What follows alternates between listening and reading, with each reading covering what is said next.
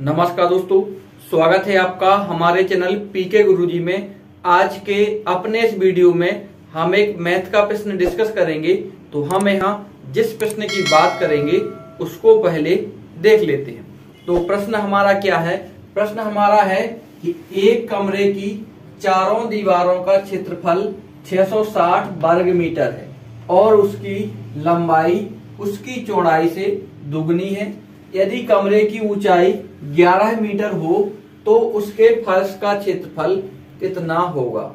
ठीक है? उसने कहा कि एक कमरा है जिसकी चारों दीवारों का क्षेत्रफल दिया है 660 वर्ग मीटर।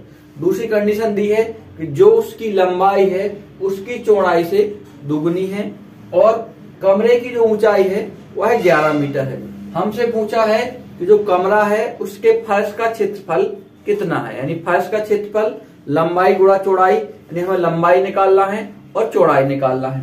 अब हमें लंबाई भी नहीं दी गई है और चौड़ाई नहीं दी गई है, लेकिन उनके बीच में एक रिलेशन दिया गया है, जो चौड़ाई से दुगनी है। क्या?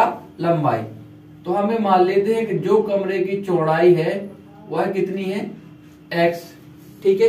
ये हमने मान ली है कि जो कमरे की चौड़ाई है, वह एक्स मीटर है। तो जो कमरे है, उसकी लंबाई कितनी हो जाएगी?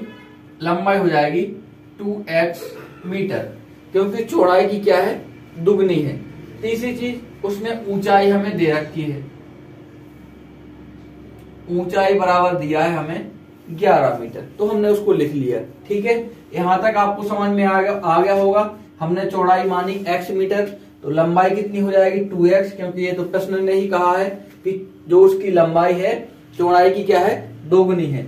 फिर ऊंचाई ऊंचाई प्रश्न ने दी है हमें 11 मीटर। अब हमें दिया गया है चारों दीवारों का क्षेत्रफल।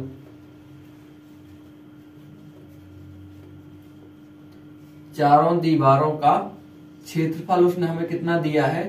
660 वर्ग मीटर। ठीक है तो कमरे की चारों दीवारों का क्षेत्रफल का यहाँ पर सूत्र लग जाएगा। क्या होता है?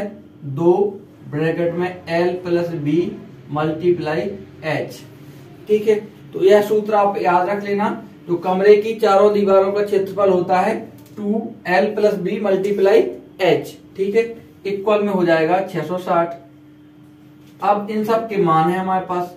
दो, लंबाई कितनी है? दो एक्स। चौड़ाई कितनी है? एक्स। और ऊंचाई कितनी है? 11 बराबर हो जाएगा 660 तो दो एक्स और एक एक्स मिलकर क्या हो जाएगा? तीन एक्स। गुड़े ग्यारह बराबर छह सौ साठ। हम x को यहाँ पर रखते हैं, बाकी सबको नीचे भेज देते हैं। भागे दो गुड़ा तीन गुड़ा ग्यारह। अब इसको कट कर देते हैं। ग्यारह से करेंगे, ग्यारह छिक छियासठ साठ आएगा।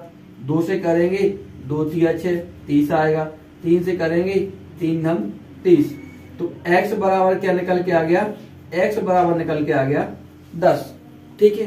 अब जब x बराबर दस आ गया तो लंबाई कितनी हो जाएगी? लंबाई है टू एक्स तो दो गुड़ा दस बराबर बीस मीटर।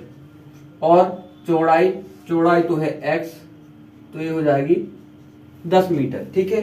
तो हमारी लंबाई मिल गई हमें और चौड़ाई मिल गई। अब हमें निकालना है फर्श का क्षेत्रफल।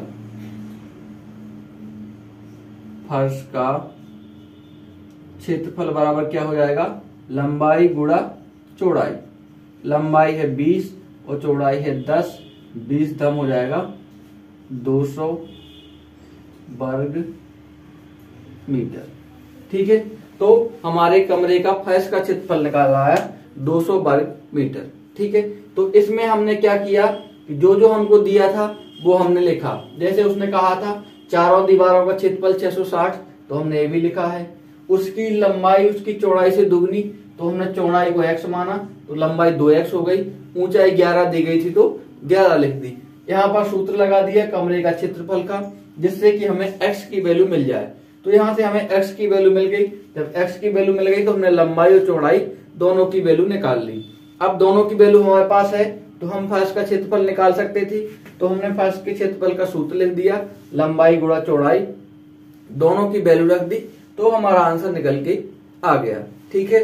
तो ऐसे ही नॉलेज बढ़ाने वाले वीडियो देखने के लिए जुड़े रहिए आपके अपने चैनल पीके गुरुजी के साथ। नमस्कार।